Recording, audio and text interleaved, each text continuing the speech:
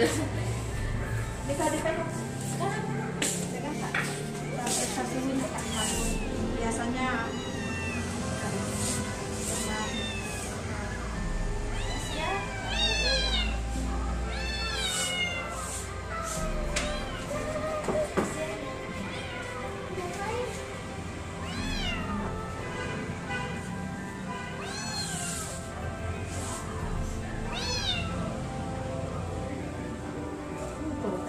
Jangan